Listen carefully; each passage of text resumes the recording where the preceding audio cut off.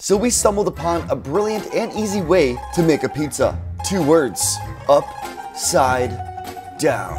Is that three words? In a cast iron skillet, start by laying down your toppings. In this case, we went with pepperoni, lined all the way to the edge. Next, a generous portion of shredded mozzarella cheese, Italian seasoning, pizza sauce, and finally, your dough. Fold in the edges to create an upside down crust and add more Italian seasoning. Now, bake your upside down pizza at 425 degrees Fahrenheit for 20 minutes. Look at that, perfect.